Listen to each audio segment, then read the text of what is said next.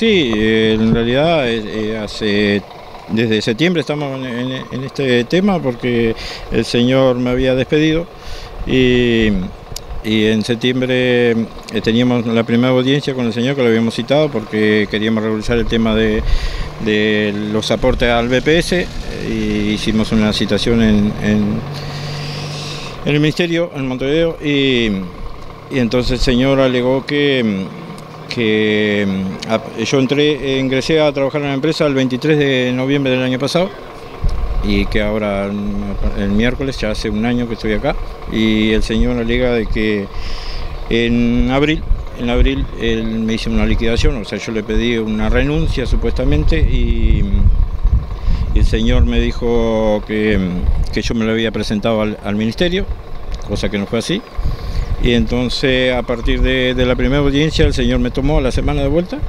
Y ahí recién me hizo los aportes a partir de que me tomó ahora en, en septiembre, el 11 de septiembre me hizo el aporte, empezó a, a, hacer los aportes del BPS el 12 de septiembre de este, de este año.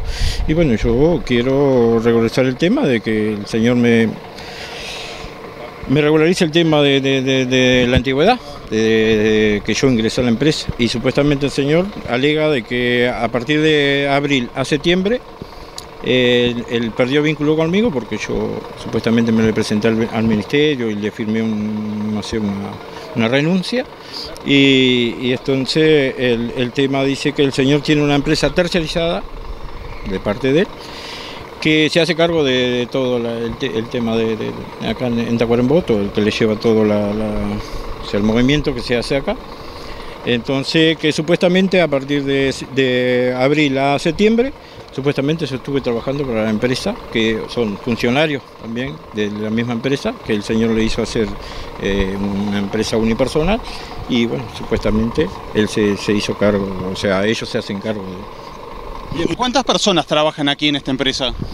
Y ahora en, en este momento estamos trabajando siete personas. Bien, ¿y todos en la misma situación que tú estás denunciando? No, eh, soy yo y otro compañero y, y los otros, eh, el señor los hizo hacer un monotributo para deslindarse de, de, de todo el tema que, que, que corresponde, ¿verdad? Ajá. Entonces... ¿Y, ¿Y usted firmó esa renuncia? ¿Firmó algo? No, yo no firmé nada no firmé nada, fue un asesoramiento que yo pedí al, al, ministerio, que supuestamente el señor me iba a hacer una liquidación, porque yo trabajaba para él, en tema de reparto, de chofer, y supuestamente después como la empresa no estaba dando, el señor iba a reducir el personal, entonces si yo quisiera seguir trabajando tenía que hacer mi monotributo de vuelta, y un monotributo para poder seguir trabajando por paquete. Pues, supuestamente me van a pagar por paquete, entonces, cosa que no fue así, yo no firmé ningún contrato ni nada y tal. Y el señor se deslindó de que a partir de, de, abril perdió el vínculo conmigo y no sabe para qué yo trabajaba.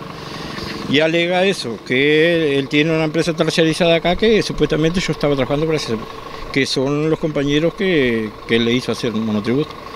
¿Esta persona que usted se refiere como el señor eh, de Montevideo? Eh, no, es de Durazno. Ah, de Durazno. Sí, eh, la empresa es OR Soluciones, que no está a nombre de él tampoco, está a nombre de la señora de él.